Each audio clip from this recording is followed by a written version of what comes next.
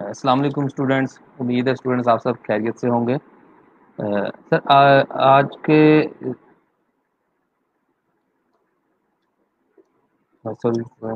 Screen share कर।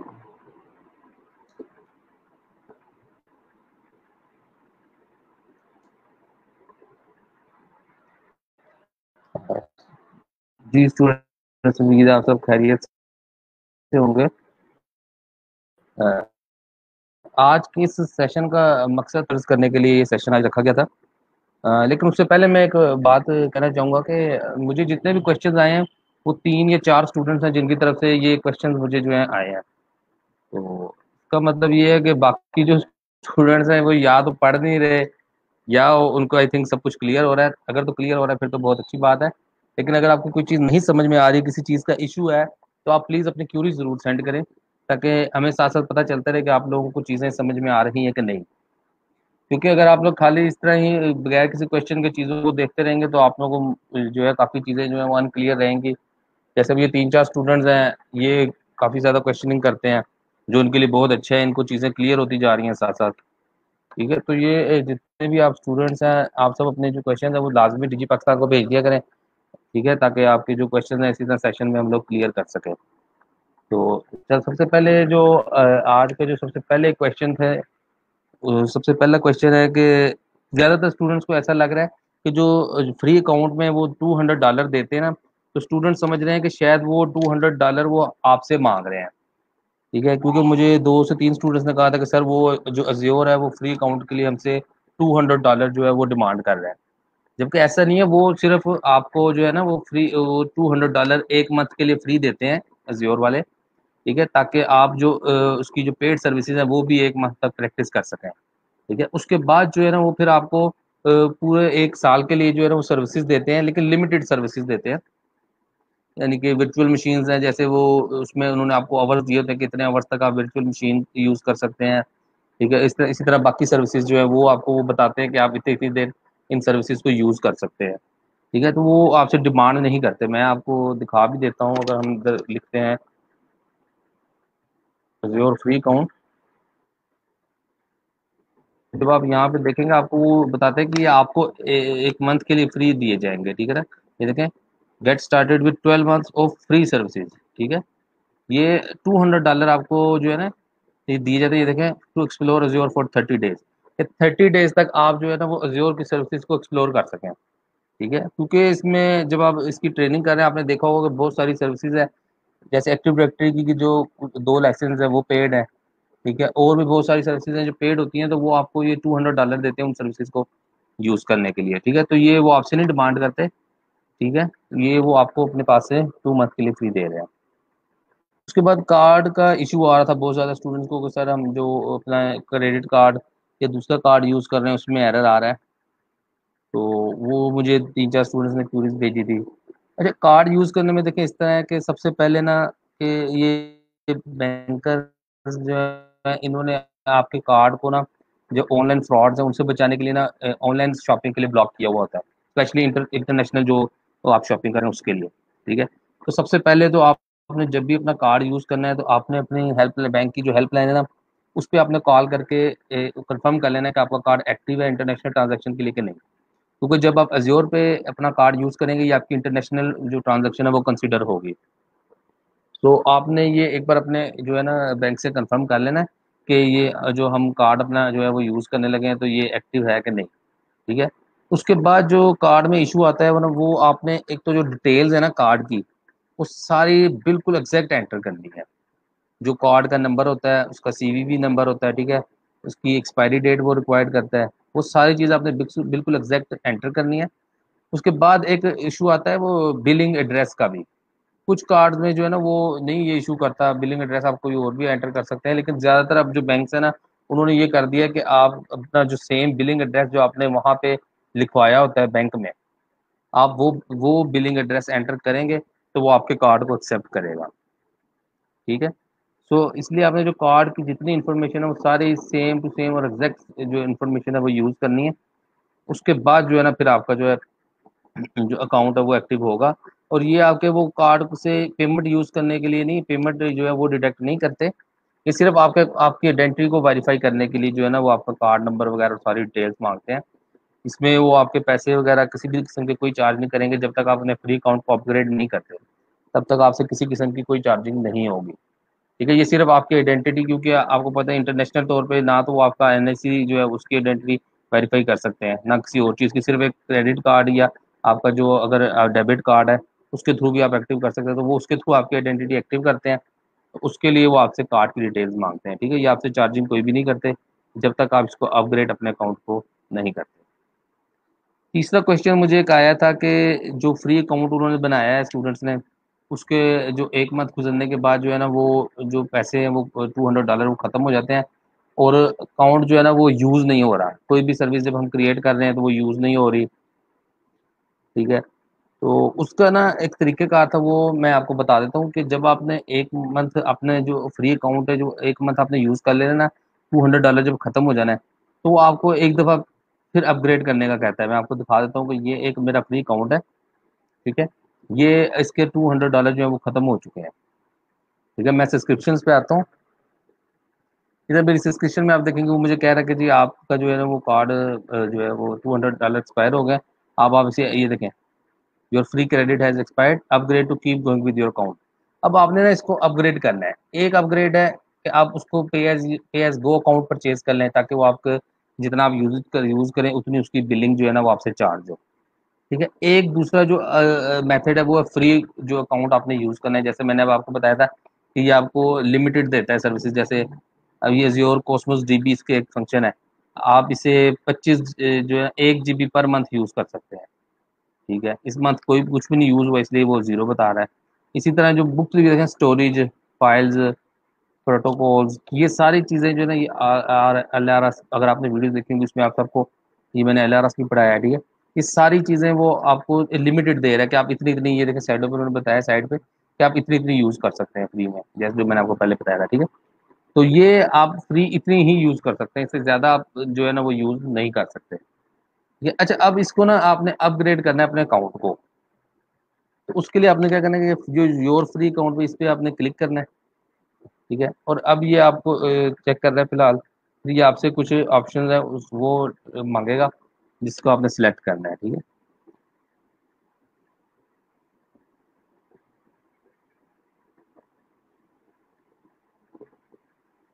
ये अब आपसे पहले फ़ोन नंबर मांग रहा है, ठीक है? इसमें आप, जो आपका जो फ़ोन नंबर आपने वो देना है वेरीफाई करने के लिए।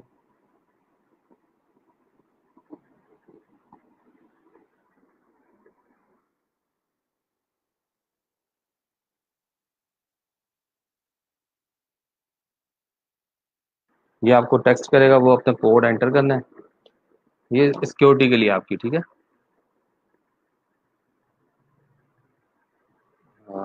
थोड़ा वेट आई थिंक करना पड़ेगा, मुझे अभी तक कोड नहीं आया।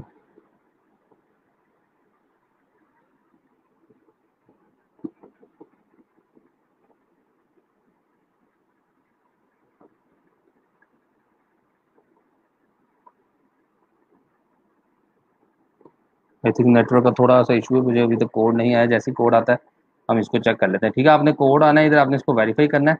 उसके बाद आपसे ना ये माँगता, पूछता है कि आपने कौन सी सर्विसेज़ यूज़ करनी है? फ्री सर्विसेज़ ही यूज़ करनी है तो आपने फ्री वाली सिलेक्ट कर लेनी है, और अगर पेड सर्विसेज़ यूज़ करनी है तो आपने फिर जो है ना पेड सर्विसेज़ वहाँ से सिलेक्ट कर लेनी है, ठीक है?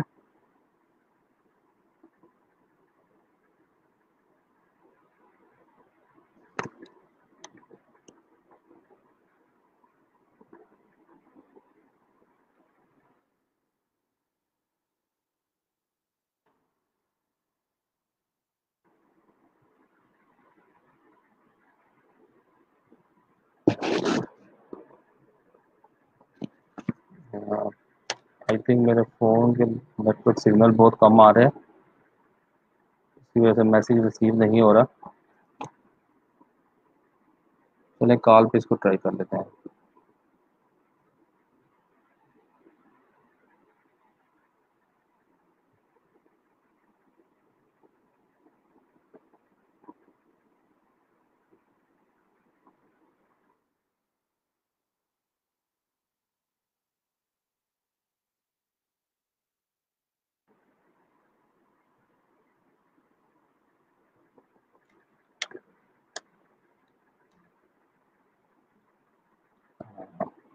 जी कॉल मेरे नंबर पे आ गई है।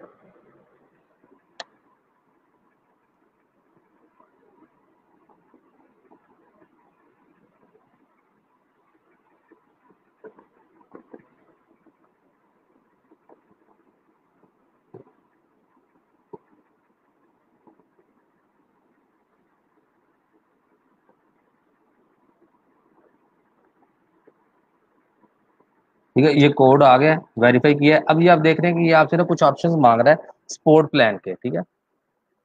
डिस्क्रिप्शन हमारी देखें अभी फ़िलहाल वही है। अब वो आपसे पूछ रहे हैं कि अगर तो आप डेवलपर हैं तो आप ये वाली सपोर्ट ले सकते हैं। इसमें आपको वो यानी कि बता रहा है for individual teams looking quickly and effectively get started on your technical support is available weekends from nine nine A to five P ठीक है? ये एट आवर्स में जो ना आपको रिस्पॉन्स कर दे देंगे अगर आपको कोई इशू होता है, आप उनको मेल करें। एट आवर्स में आपको रिप्लाई आएगा। स्टैंडर्ड में वो आपसे, इसमें आपसे वो twenty nine dollar per month जो है वो चार्ज करेगा। स्टैंडर्ड में वो आपसे जो है हंड्रेड डॉलर जो है वो पर मंथ चार्ज करेगा, ठीक है? इसमें आपको ये ना एक ओवर के अंदर जो है वो आपको रिप्लाई करेंगे और वन बिज़नेस डेज़ में वन डे में आपका जो इशू है वो रिजॉल्व करवाएँगे, ठीक है? उसके बाद प्रोफेशनल डायरेक्ट है, ये one thousand dollar per month है। ये आपको पता है, अगर मल्टी नेशनल्स की बड़ी कंपनीज़ अगर ज़ोर यूज़ करती हैं तो उसके लिए, क्योंकि ये एक्सपर्ट का वेबिनार जिसमें वो आपको देखें बता रहा है। और response time between one hour and one business day based on case and and include high incident management ठीक है? आपने ये सारे नहीं सिलेक्ट करना आपने सिर्फ़ बेसिक सेलेक्ट करना है क्योंकि आपने फ्री अकाउंट यूज़ करना है, ठीक है? बाकी सब में जो है वो चार्जेस पे आपको होंगे, इसलिए आपने बाकी सेलेक्ट करना और अपग्रेड कर लेना है।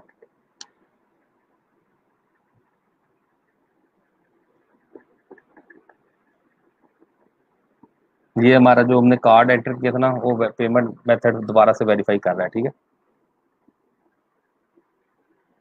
इसमें थोड़ा सा टाइम लेगा। जैसे ही हमारा कार्ड वेरीफाई हो जाएगा इनके पास दोबारा से तो ये हमारा अकाउंट फिर से एक्टिव हो जाएगा, ठीक है? ये देखें, ये सक्सेसफुली हो गया ये देख रहे हैं, अब आपको ये एरर इसने ख़त्म कर दिया यहाँ से। हमारा अकाउंट दोबारा से एक्टिव हो जाएगा। अब आप फ्री सर्विसेज़ जो है ना, वो यूज़ कर सकते हैं, ठीक है? तो इस तरीके से आपका अगर जो फ्री जब, जो टू हंड्रेड डॉलर एक्सपायर हो जाते हैं, उसके बाद आपने इसी तरह से अपना अकाउंट दोबारा जो है रीन्यू कर लेना अपग्रेड करके उसे फिर से आप यूज़ कर लेना, ठीक है?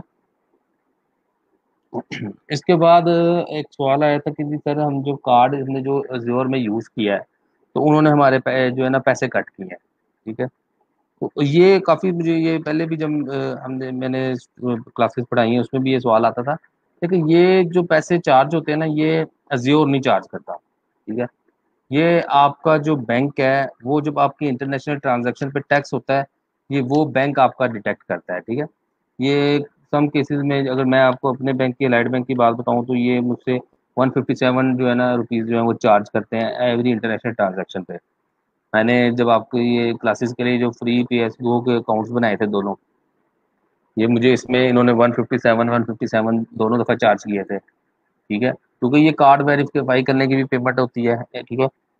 टैक्स जो इंटरनेशनल ट्रांजेक्शन का होता है, बेशक वो अज्योर फ्री है, लेकिन आपकी एक इंटरनेशनल ट्रांजेक्शन तो हो रही है, उसका वो टैक्स आपसे डिडक्ट कर लेते हैं, ठीक है? तो ये हर बैंक का डिफरेंट हो सकता है अलाइड बैंक का तो 157 है तो कुछ स्टूडेंट्स मुझे बता रहे थे कि जी हमारे 180 के 189 इतनी कटिंग हुई है तो ये आपके बैंक पे डिपेंड करता है, ठीक है? आपका बैंक जो है वो कितने कितने उसने अपने जो चार्जेस रखे हुए हैं इंटरनेशनल ट्रांजेक्शन के तो ये आप उनसे अपने बैंक से कंसिडर कर सकते हैं कि हमारे चार्जेस कितने हैं, ठीक है? इसमें वो ज्योर आपसे कोई कटिंग नहीं ले, करेगा। ज्योर की सर्विसेज़ जो है ना, वो बिल्कुल फ्री है। आपने जो है बैंक से अपने पूछ लेना है, ठीक है? वो आपको जो है फिर बताएँगे। इसके बाद मुझे एक दो स्टूडेंट्स का सवाल आया था कि, सर, सिर्फ़ ज्योर की सर्टिफिकेशन हमारे लिए काफ़ी है? यानी कि एक तो पूछ थे कि ज्योर एडमिनिस्ट्रेटर की सर्टिफिकेशन सिर्फ़ काफ़ी है और दूसरा पूछ थे कि हम लोग साथ ए डब्ल्यू एस या और कोई सर्टिफिकेशन करें कि ना करें। तो देखें, हर सर्टिफिकेशन का अपना एक लेवल है। सबसे पहले आप ये बात ध्यान में रखें ज्योर एडमिनिस्ट्रेटर का जो एक लेवल है, वो अलग है। अगर आप उसके बाद आप आर्किटेक्चर की साइड पे जाते हैं, उसका एक अलहदा से लेवल है, ठीक है? हर दोनों सर्टिफिकेशन की डिमांड अलहदा है। अगर आप बात करें कि जो कंपनीज़ ज्योर यूज़ कर रही हैं, ठीक है?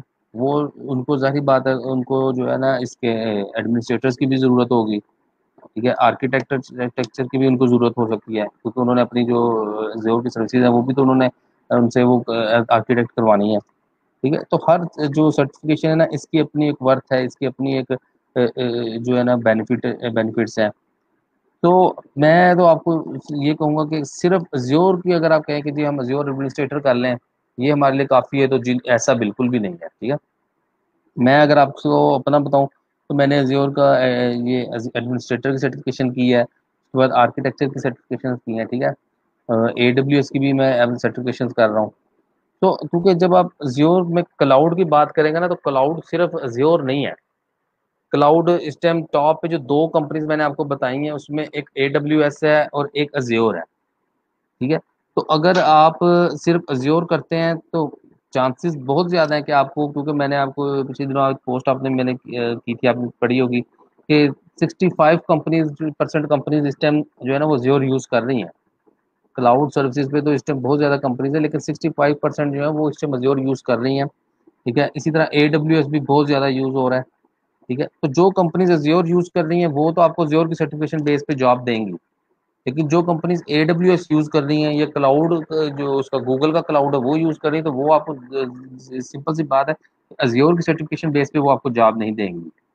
ठीक है? और जो आने वाला टाइम है, वो मल्टी मल्टी क्लाउड का है। उसमें आपको ए डब्ल्यू एस पे भी काम करना पड़ सकता है ज्योर पे भी काम करना पड़ सकता है गूगल पे भी काम करना पड़ सकता है, ठीक है? मैं मैं अगर आपको अपना फ्री लांसिंग का अगर जो एक्सपीरियंस बताऊँ तो मुझे अगर फॉर एग्जांपल फाइव पाँच ऑर्डर्स आते हैं ना तो उन पाँच में से दो जो हैं या तीन जो हैं वो ए डब्ल्यू एस के भी आते हैं। लाजमी नहीं कि मुझे सारे ज्योर की आ जाते हैं, ठीक है? तो जो वर्किंग हमें आती है तो वो ए डब्ल्यू एस पे भी आती है अज्योर पे भी आती है। ठीक है? तो ये अगर आप कहें कि सिर्फ़ ज्योर इनफ है तो ये इनफ नहीं है। ठीक है? आपको, अगर तो आप सिर्फ़ इसी फ़ील्ड में ही रहना चाहते हैं कि जी ठीक है, बस हम ज्योर करके ज्योर तक ही अपने आप को महदूद रखना चाहते हैं तो ठीक है, आप ज्योर को करें। आपको ज्योर की बेस पे भी जॉब मिलेगी, ज़रूर क्यों नहीं मिलेगी? लेकिन अगर आप अपने आप को एक एक्सपर्ट लेवल पे लेके जाना चाहते हैं, ठीक है? तो आपको फिर मल्टी क्लाउड जो है ना, वो सीखना पड़ेगा। ठीक है? उसमें आपको ए डब्ल्यू एस भी है अगर तो आप ज़्यादा नहीं करना चाहते तो ए डब्ल्यू एस तो साथ लाजमी करें। क्योंकि इस टाइम ए डब्ल्यू एस और अज्योर दोनों कम्पिटिटिव है। बहुत ज़्यादा जो है ये, इनकी सर्विसेज़ दोनों की यूज़ हो रही हैं। ठीक है, इनका जो मार्केट जो अगर लेवल देखें तो दोनों तकरीबन मार्केट पे इस टाइम बिल्कुल बराबर पे आ गई हैं। ठीक है तो ये आप पे अब डिपेंड करता है कि आप किस पे रहना चाहते हैं। अगर आप सिर्फ़ अज्योर पे ही रहना चाहते हैं तो सिर्फ़ अज्योर तक रह सकते हैं।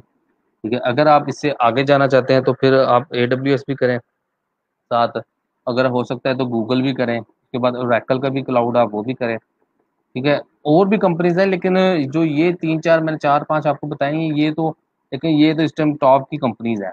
सबसे, A W S Azure Google cloud ठीक है? और एकल ये इस टाइम टॉप पे जा रही है। तो हर, और साथ में हर एक अपना देखें बेनिफिट है। अगर आप आर्किटेक्चर लेवल पे आते हैं तो आर्किटेक्चर लेवल पे आपसे कोई ये नहीं कहता जी हमें ज्योर की ही सर्विसेज़ चाहिए। वो तो आप कहें, वो तो आपको कहेंगे जी हमें आप सोल्यूशन दें, उसमें आप, हमें कॉस्ट इफ़ेक्टिव हो। ठीक है कंपनी आपको ये नहीं कहेगी कि जी हमें सोल्यूशन चाहिए, सिर्फ़ अज्योर पे ही चाहिए। हमें वो तो आपको कहेंगे जी आप हमें सोल्यूशन दें जो हमारे लिए कॉस्ट इफ़ेक्टिव हो। तो अगर कॉस्ट इफ़ेक्टिव की आप बात करेंगे तो बहुत सारी सर्विसेज़ हैं जो अज्योर पे जो है वो कॉस्टली हैं, जबकि ए डब्ल्यू एस पे जो है वो चीप है। इसी तरह जो कुछ सर्विसेज़ हैं जो ए डब्ल्यू एस पे चीप लेवल पे है जबकि अज्योर पे जो है वो कॉस्टली है, ठीक है? तो ये आपको फिर जो है ना मल्टी क्लाउड को समझना ज़रूरी है। तो फ़िलहाल के लिए आप इस तरह कर सकते हैं कि अगर आप अज्योर की सर्टिफिकेशन कर रहे हैं तो अपने आप को उसमें एक्सपर्ट करें, ठीक है? अगर आप एक साथ ही दोनों की तरफ़ शुरू हो जाएँगे तो आप जो है ना, वो फिर अपने आप को दोनों को पर जो है ना, वो अपना हाथ सेट नहीं कर सकते। आपको, अपने आप इस तरह एक्सपर्ट होना चाहिए कि आपको कोई भी कहे जी, ये काम करना है ज्योर पे। आप फ़ौरन से उस काम को करें। ये ना होगा, आप देखेंगे जी अच्छा अब यहाँ पे जाना है, अब इस तरह करना है, इस तरह करना है। आपको कहेगा जी, हमें एक स्टोरेज अकाउंट चाहिए।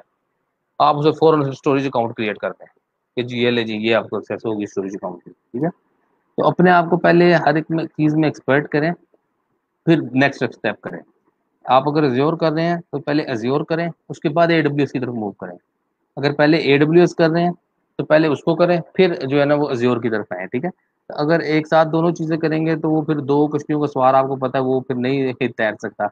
वो ज़्यादा देर कश्ती में सवार नहीं रह सकता। तो जो है, आप जितनी सर्टिफिकेशन होती हैं, वो करें। आपके लिए उतनी अच्छी हैं।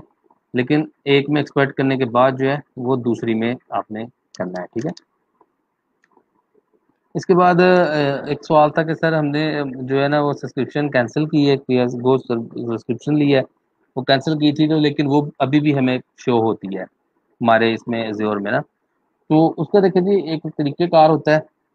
आप सब्सक्रिप्शन कैंसिल कर देते हैं, लेकिन अज्योर आप, उसको आपके अकाउंट से ख़त्म नहीं करता। जैसे मैंने ये पे एज सब्सक्रिप्शन में मैं आपको जाकर खाता हूँ, ये पे एज यू गो की दो सब्सक्रिप्शन जो है वो मैं ख़त्म कर चुका हूँ। ये देखें ये डिसेबल है। ठीक है? इन पर कोई इस टाइम चार्जिंग नहीं है और ये मैंने सिर्फ़ आप लोगों की, आपको सिखाने के लिए जो थी सब्सक्रिप्शन बनाई थी। ठीक है? और ये जो मेरी मेन सब्सक्रिप्शन है देखें इस पर करंट कॉस्ट उन्नीस डॉलर की आ रही है। ठीक है? तो ये दोनों डिसेबल होगी, लेकिन देखें, अभी भी मेरे अकाउंट में शो हो रही है। तो इसके लिए हम क्या करते हैं कि हमें इसके लिए इनको मेल करनी पड़ती है कि जी, हमने ये दो सब्सक्रिप्शन यूज़ नहीं करनी, आप इन्हें डीप रिविजेंट कर दें, ठीक है? डीप रिविजेंट करवाने के लिए आपको हेल्प एंड सपोर्ट सेंटर में इसकी जाना पड़ता है। हेल्प एंड सपोर्ट में आने के बाद आप अपना केस यहाँ से लॉन्च कर देते हैं। केस लॉन्च होने के बाद वो आपसे कॉन्टैक्ट करते हैं और आपसे जो है वो आपको कहते हैं कि जी ठीक है, आप हमें जो है इजाज़त दें अपने, वो आप डिटेल्स आपसे कुछ मांगते हैं। अब वो डिटेल्स उनको देने के बाद वो आपकी फिर जो ये सब्सक्रिप्शन होती है डीप रिविजन कर देते हैं। जैसे मैंने देखें, मेरे कुछ इश्यूज़ थे, वो मैंने करवाए थे तो वो जब ठीक हो गए तो मैं केस क्लोज हो गया था, ठीक है? तो आपने जब भी केस करना है, आपने सबसे पहले आना है न्यू स्पोर्ट रिक्वेस्ट पे।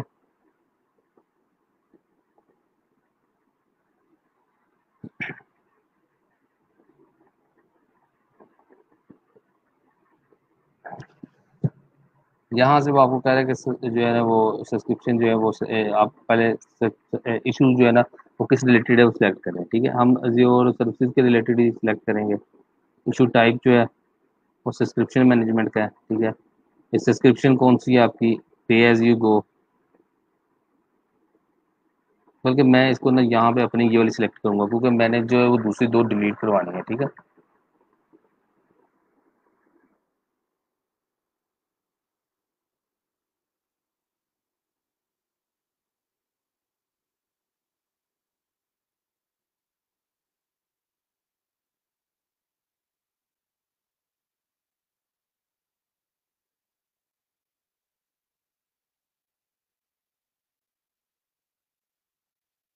यहाँ पे आप सिंपल से लिख दें कोई भी जो भी लिखना। ठीक है, उसके बाद आप यहाँ से देखें, ये कैंसिल स्विच और रीनेबल माई सब्सक्रिप्शन ठीक है, आप इस पर जो है वो कर लें।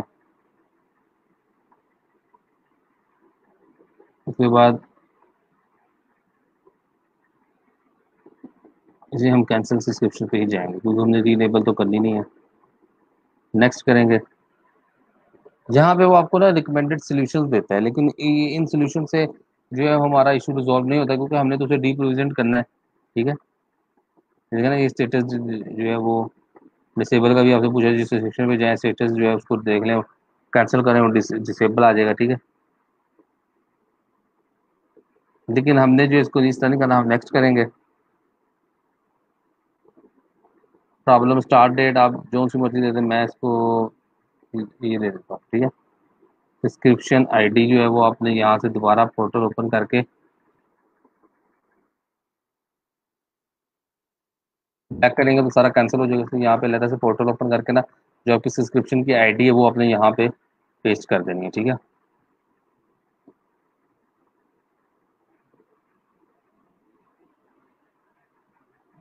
प्लेटफॉर्म है मेरा। ये आपकी सब्सक्रिप्शन आईडी है, ठीक है? इसको आपने यहाँ से कॉपी करना है। और इसे यहाँ पेस्ट कर दें। ठीक है?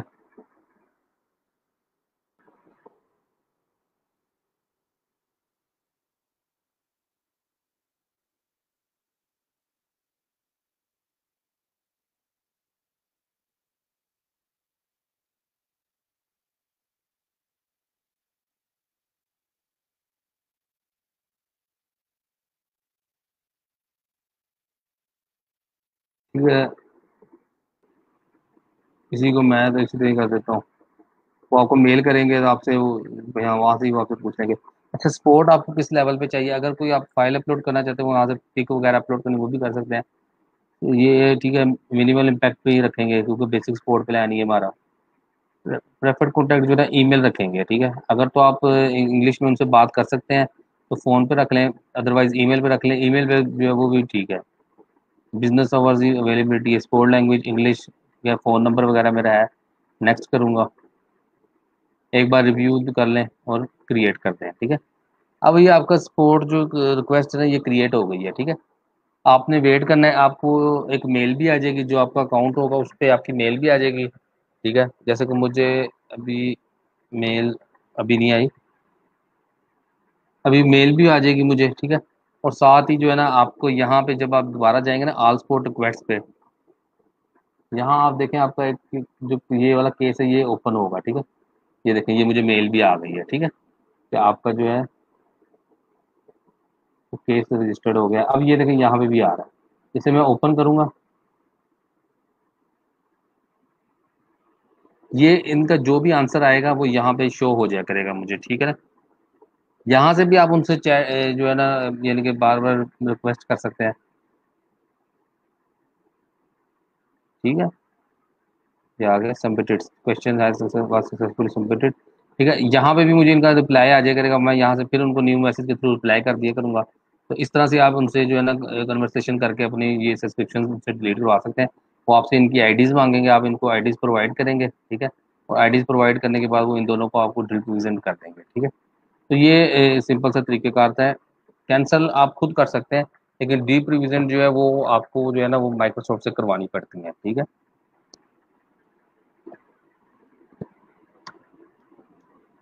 अच्छा इसके बाद एक सवाल था कि सर जी आपने जो है ना एक मैंने लैब करवाई थी कस्टम डोमेन जो थी हमने एक्टिव डायरेक्टरी में ऐड करनी थी अपनी कस्टम डोमेन तो कुछ स्टूडेंट्स कह रहे थे कि सर हमारे पास तो डोमेन ही नहीं है, हमने परचेज नहीं की हुई डोमेन तो हम उस लैब की किस तरह से प्रैक्टिस करेंगे? ठीक है? तो उसका मैं आपको एक बहुत ही ईजी मेथड बता देता हूँ कि आप एक फ्री डोमेन जो है ना, वो मिल जाती है ईजीली आप वो फ्री डोमेन ले लें, ठीक है? उस फ्री डोमेन के थ्रू आप उस लैब की प्रैक्टिस कर सकते हैं।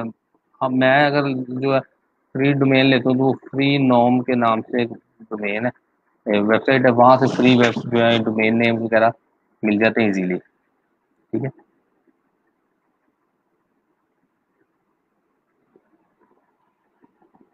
ये free Nom name for every one website है, ठीक है? यहाँ से आपको जो है ना इजीली आप डोमेन नेम ले सकते हैं, लेकिन आपको काफ़ी सर्च करना पड़ता है। जो डोमेन डोमेन नेम अवेलेबल होगा, आपको वही मिल सकता है। जैसे मैं अगर लेता हूँ।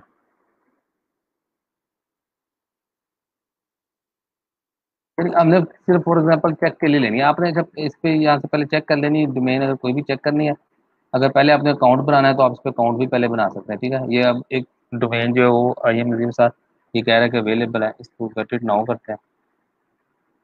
ये अवेलेबल नहीं है।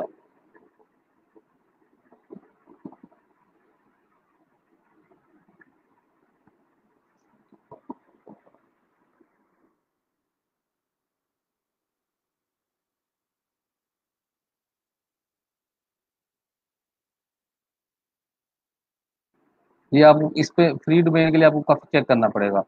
मेरे को मुझे आज एक मिली भी थी लेकिन वो बड़ी मुश्किल से मिली थी मुझे। क्योंकि ये पहले तो बहुत इजीली मिल जाती थी, फ्री डोमेन्स मैं आपको जो मुझे मिली है मैं वो आपको चेक करा देता हूँ। आप इसी तरह यानी कि चेक करते रहिएगा कोई कोई भी डोमेन आपको अवेलेबल हो जाएगी इजीली मुझे आज एक फ्री डोमेन इस पर मिली थी मैं वो आपको वो चेक करवा देता हूँ।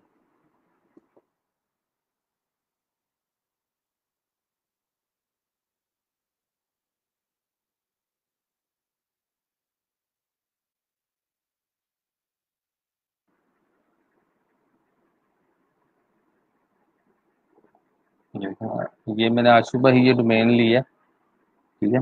ये। ये भी मुझे बाय चांस ही मिल गई थी।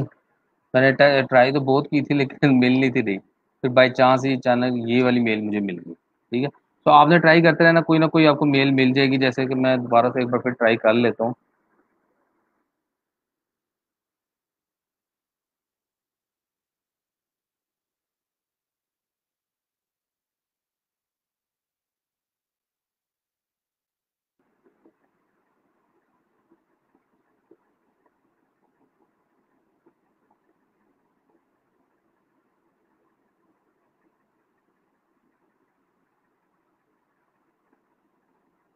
रहा था ये वेबसाइट ये मेरा नेट स्लो हुआ था, शायद।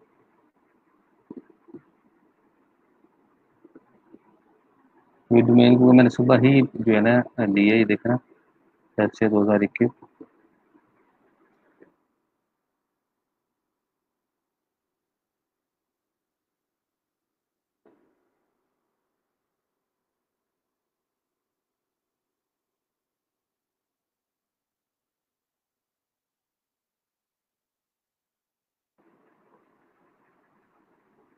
मुझे लग रहा है मेरा नेट स्लो हो गया काफ़ी। अच्छा बहरहाल ये डोमेन मैंने ली थी, ठीक है? आपने मैनेज डोमेन में आना है।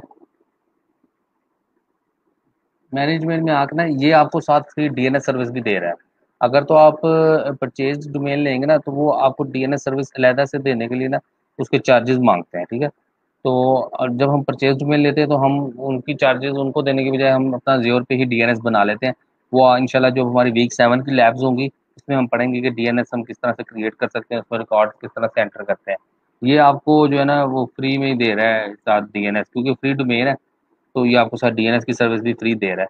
तो उसमें जो मैंने आपको तरीकेकार बताया था कि टेक्स्ट फ़ाइल ऐड करने का, वो आपने इसको यहाँ से, ये टेक्स्ट फ़ाइल आपने इसमें ऐड कर लेना वो कर लेना जो आपको वहाँ पे जब डोमेन ऐड करेंगे, वहाँ पे उसने आपको पता टेक्स्ट रिकॉर्ड एक दिया था, ठीक है?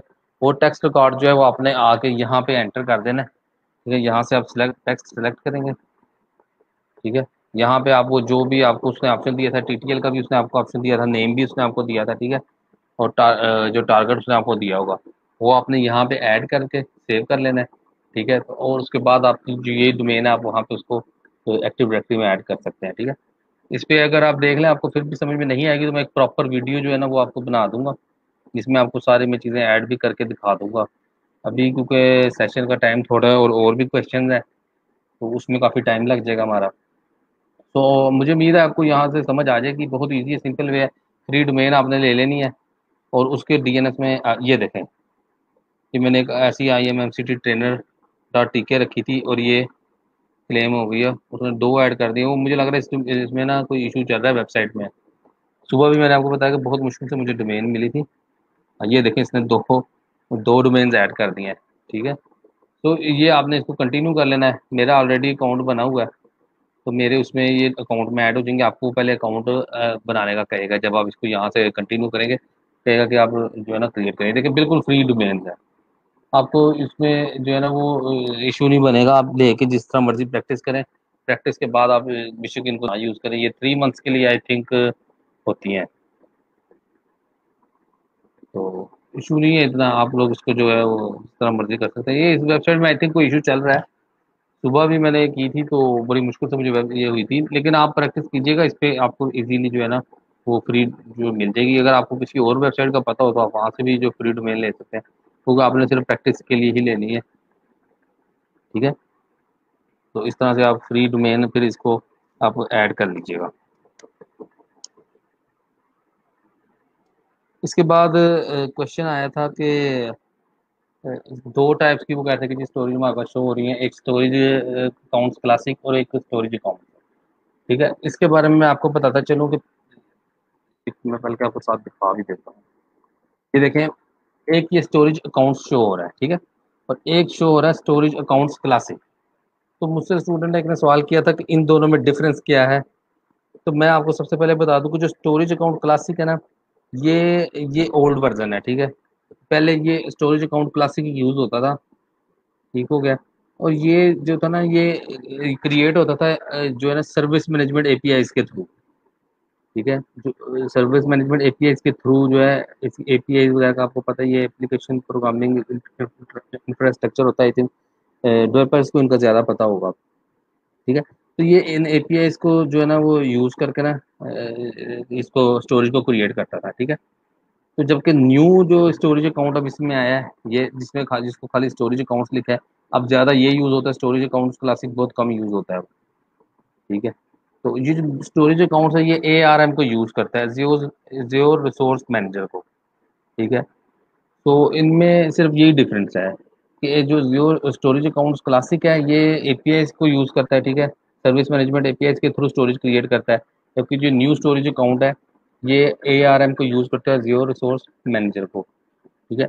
उसके बाद इसमें जो एक डिफरेंस है ना, वो ये है कि जो स्टोरेज अकाउंट्स क्लासिक है, इस पर हम, हमने एक रोल बेस्ड एक्सेस कंट्रोल पढ़ा था, ठीक है? आर ए बी सी जो आर ए बी सी की जो हम जो है वो परमिशंस आपको पता है अलाउ करते थे, कि जी जो एच आर वाला है, उसको स्टोरेज पे कितनी परमिशन होनी चाहिए, या सेल वाले को या फॉर एग्जांपल अजीम को स्टोरेज पे ये एक्सेस है ये सिर्फ़ रीड कर सकता है या राइट कर सकता है। जो स्टोरेज पे जो हम जो एक्सेस प्रोवाइड करते थे रिसोर्स रिसोर्सेज पे वो आप स्टोरेज अकाउंट क्लासिक पे नहीं अप्लाई कर सकते।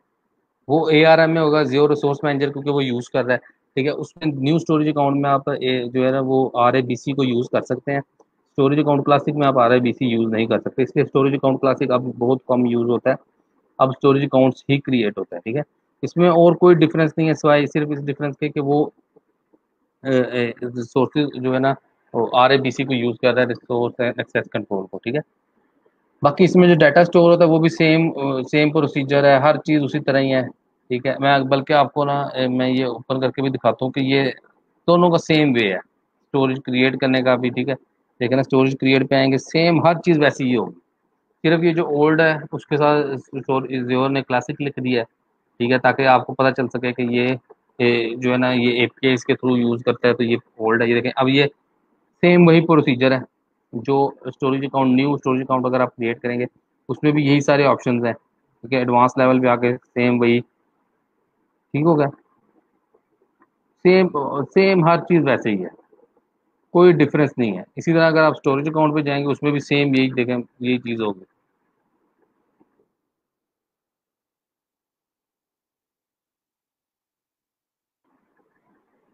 भी क्रिएट पे आते हैं। ये देखें सेम हर चीज़ सेम है। सिर्फ़ जो डिफरेंस मैंने आपको बताया वो ये है कि जो न्यू स्टोरेज अकाउंट है वो आरएबीसी को यूज़ करके इस पर जो है वो इम्प्लीमेंट हो जाती हैं परमिशंस जबकि स्टोरेज अकाउंट क्लासिक पे जो है ना वो परमिशन आप जो है ना आर की नहीं दे सकते, ठीक है?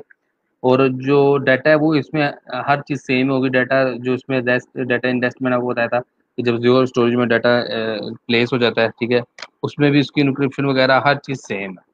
डाटा सेम तरीके से उसमें भी रखा जाता है सेम तरीके से उसमें भी रखा जाता है, कोई डिफरेंस नहीं है, ठीक है। तो आप इन दोनों में से यानी कि जो मर्ज़ी यूज़ कर सकते हैं, लेकिन मैं आपको प्रेफर यही करूँगा कि आप न्यू स्टोरेज अकाउंट करें यूज़ करें, क्योंकि न्यू जब एक सर्विस आ जाती है ना तो उसमें आपको पता है जो ऑप्शन ज़्यादा होते हैं, ठीक है। तो आप न्यू स्टोरेज अकाउंट को जितना हो सके यूज़ करें उसके बाद एक सवाल आया था कि, सर, जो जियोर एक्सप्लोरर प्रीव्यू मैंने पढ़ाया था एक, ठीक है फाइव वीक फाइव में स्टोरेज एक्सप्लोरर प्रीव्यू ठीक है? उसमें हम जो है वो वर्जनिंग को देख सकते हैं कि नहीं फ़ाइल की वर्जनिंग क्या है, ठीक है? मैं इधर आपको अगर स्टोरेज अकाउंट क्रिएट होगा मेरे पास।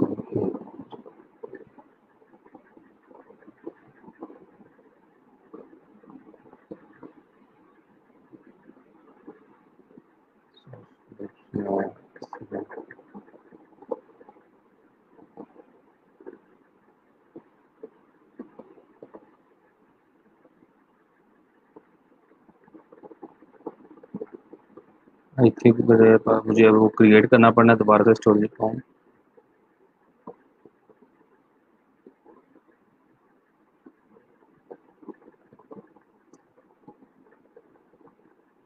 हाँ। जी, मुझे स्टोरेज अकाउंट क्रिएट करना पड़ना है। तो चलिए मैं आपको ऐसा बताता हूँ मैंने आपको उसमें देखे प्रीव्यू का बताया था स्टोरेज एक्सप्लोरर प्रीव्यू का, ठीक है? उसका मकसद था सिर्फ़ कि स्टोरेज एक्सप्लोरर का जो डेस्कटॉप वर्जन आता है, आया ना, वो उस उस वर्जन डेस्कटॉप वर्जन आने से पहले उन्होंने एक प्रीव्यू वर्जन दिया था पोर्टल में ताकि लोग उसको प्रैक्टिस कर सकें, उसे अच्छी तरह समझ सकें, ठीक है? तो वर्जनिंग का जो सवाल है वर्जनिंग यूज़ होती है कि आप अगर एक फ़ाइल को अपलोड करते हैं, लेकिन आप चाहते हैं कि यार इसकी जो अपडेट की है अपने फ़ाइल आप कहते हैं कि यार जो इसका ओल्ड वर्जन है, वो भी जो है ना, वो एज ए बैकेंड सेव रहे हमारे पास, तब आप वर्जनिंग इनेबल करते हैं। उसमें होता क्या है कि जब आप एक फ़ाइल को अपडेट करते हैं फॉर एग्ज़ाम्पल मैंने एक वर्ड की फ़ाइल बनाई है, उसमें मैंने लिख दिया ए बी सी ठीक है?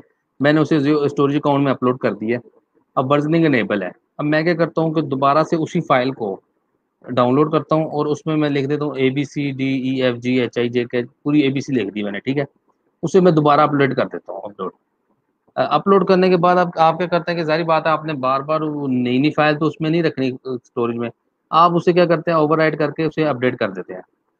अब जो आपकी मेन फ़ाइल है, वो तो हो गई अपडेट जो आपकी दूसरी फ़ाइल है ना, वो बैकएंड पे आपके पास एक स्टोर हो जाती है वर्जनिंग में, ठीक है?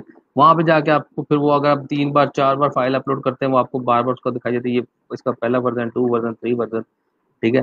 फॉर एग्ज़ाम्पल आप कहते हैं यार मैंने तो फ़ाइल अपडेट नहीं थी करनी। ये इसमें गलत चीज़ें अपडेट हो गई हैं। तो आप क्या करते हैं कि आप वहाँ से वर्जन में जाके जो आपने जो जिस फ़ाइल को रिकवर करना था, आप उससे दोबारा से रिकवर कर लेते हैं। तो वो वर्जनिंग का मकसद ये होता है, ठीक है? तो स्टोर, जो स्टोरेज एक्सप्लोरर प्रीव्यू है, उसमें आप वर्जनिंग नहीं चेक कर सकते। वर्जनिंग चेक करने के लिए आपको पोर्टल पे ही आना पड़ना है। आप पोर्टल से आके उसकी वर्जनिंग को चेक कर सकते हैं, ठीक है? उसके बाद तीसरा एक और बल्कि लास्ट क्वेश्चन था।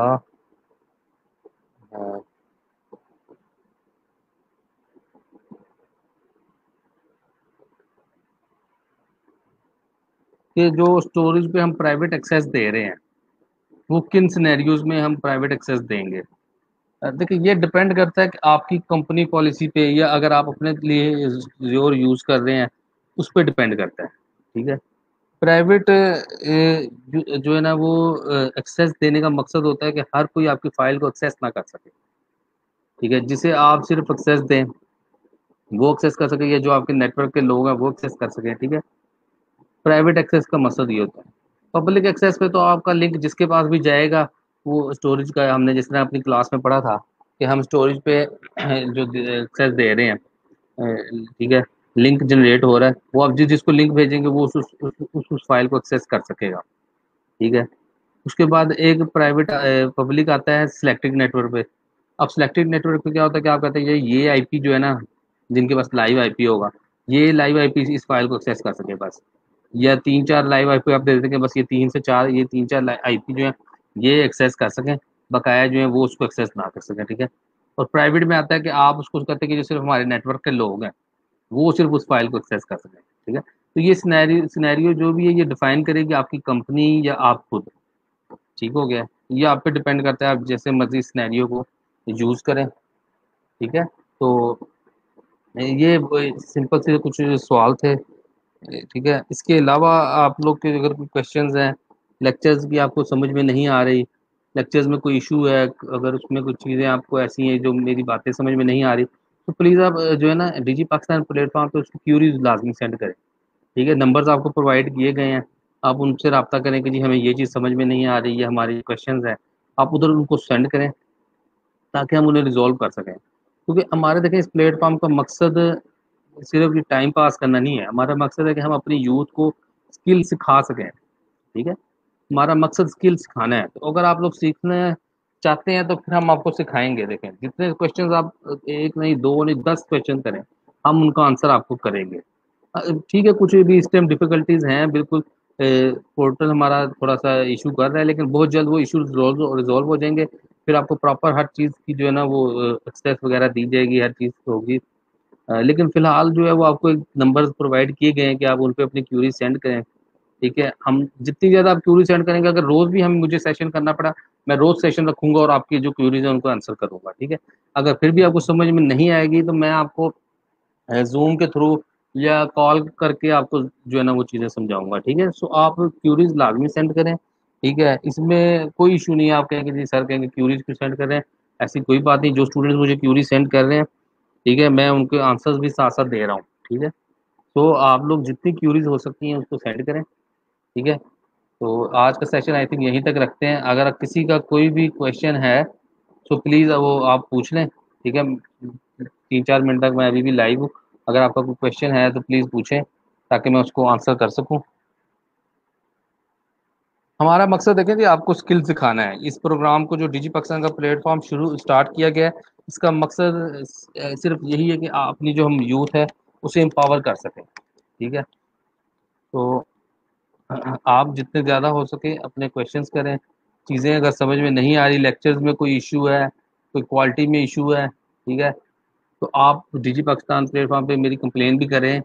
अगर कोई क्वेश्चन है, वो भी डिजी पाकिस्तान प्लेटफॉर्म पे भेजें, ताकि हम चीज़ों को इम्प्रूव और कर सकें, ठीक है? मेरी पूरी कोशिश है कि आपको चीज़ें अच्छी तरह समझ में आए। ये क्वेश्चन आया है what is M S Azure exactly Microsoft Azure की जनाब ये एक क्लाउड सर्विसेज़ है, जिसका मकसद आपको कंप्यूट नेटवर्किंग ये तमाम सर्विसेज़ प्रोवाइड करना है, ठीक है? ये एक का सवाल काफ़ी दफ़ा किया गया और मैंने काफ़ी दफ़ा इसका आंसर भी दिया है, ठीक है? ये माइक्रोसॉफ्ट की क्लाउड सर्विसेज़ हैं, जैसे अमेजोन की AWS है, ठीक है? इसी तरह ये माइक्रोसॉफ्ट की सर्विसेज़ हैं, ठीक है? इसमें आपको कंप्यूटिंग की ऑप्शन देते हैं आप और बहुत ज़्यादा इस पर सोल्यूशन जो है वो क्रिएट कर सकते हैं।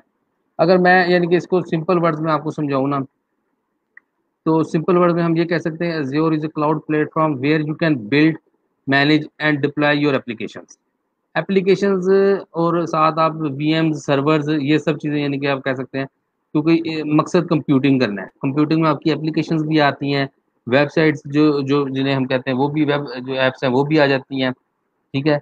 उसके बाद इसमें कोई इशू नहीं है, आप कौन सा ओएस यूज़ करना चाहते हैं?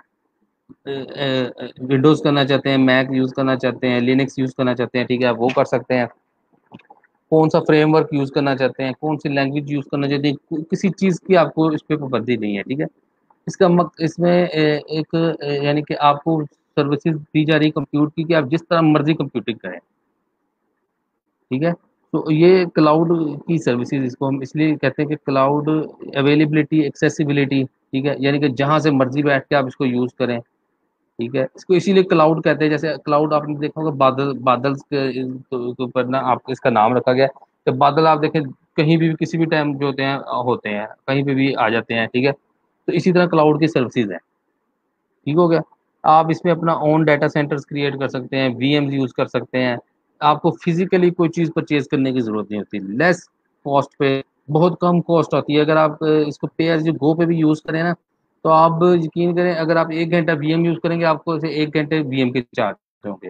एक घंटा वेब ऐप यूज़ करेंगे सिर्फ़ उस वेब ऐप के एक घंटा चार्जेस होंगे ठीक है? तो बेसिकली ये कंप्यूटिंग सर्विसेज़ हैं फॉर स्मॉल बिज़नेस और लार्ज बिज़नेस और अगर आप पर्सनल यूज़ के लिए भी करना चाहते हैं तो पर्सनल यूज़ के लिए भी आप इसको कर सकते हैं ठीक है? तो ए, मुझे उम्मीद है कि आप आपको ये अंडरस्टैंड होगा। अगर फिर भी नहीं होता तो आप दोबारा क्वेरी सेंड करें, आपको जो है मैं इसको प्रॉपर जो है इसकी जो होगी चीज़ें वो समझाऊँगा। ठीक है इसके अलावा कोई क्वेश्चन अगर किसी का है? आई थिंक किसी का और कोई क्वेश्चन नहीं है। तो आज के सेशन को यहीं पे एंड करते हैं, ठीक है? इंशाल्लाह आप अगर क्वेरी भेजेंगे तो जल्दी ही नेक्स्ट सेक्शन में दोबारा रखूँगा, ठीक है? इसके अलावा जो है ना आप प्लीज़ प्रैक्टिस ज़रूर करें। ठीक है? और आज मुझे, मेरे ख्याल से कुछ कुछ स्टूडेंट्स का मुझे ये आया था कि सर हमें ना कोई असाइनमेंट मिली है, ना पीडीएफ जो डाटा है वो रीडिंग के लिए मिला है। तो वो कुछ इश्यूज़ थे, लेकिन वो रिजॉल्व हो गए तो इनशाला आज आपको जो है ना वो असाइनमेंट्स भी मिल जाएँगी, ठीक है? सो आपने वो ड्यू डेट से पहले पहले असाइनमेंट्स जो होंगी वो सबमिट करनी होंगी, ठीक है? और जो रीडिंग डाटा है रीडिंग मटेरियल है, वो भी इनशाला आज आपको प्रोवाइड हो जाएगा, ठीक है? आज रात तक मैं, मेरी उनसे बात चल रही है, डिजी पाकिस्तान से बहुत जल्द आपको वो भी प्रोवाइड हो जाएगा, ठीक है?